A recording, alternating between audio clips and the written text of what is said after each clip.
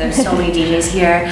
I think the best thing to do is just try to see new people and get a taste for something inspiring you may not have um, ever heard before.